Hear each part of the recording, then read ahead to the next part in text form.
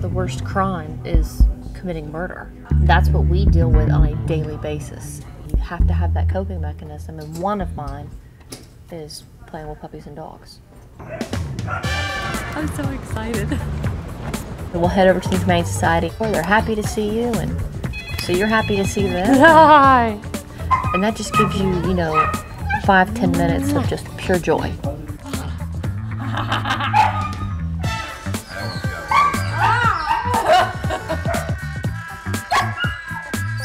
get a chance to get in there and, pick the puppies up and take them into the room and tussle with them and, and have fun with them. We're ready to I may be at a point in the investigation where I need a minute to step away from the case. And then all of a sudden, after that minute you step away from the case, you may realize, okay, let's do this.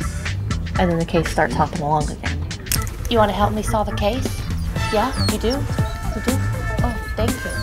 Ots turns into a baby, you know, when it comes to puppies. He sees those puppies and he becomes just as much as a kid as I do. Summer. Oh, look at that face.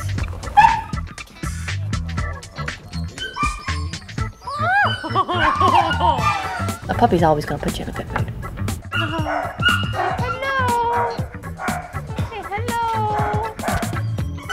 It's a good, you know, it ends up being a better day. All right, I'm taking you with me. You Let's want go to arrest the the murder? murderer. Let's go arrest the murderer.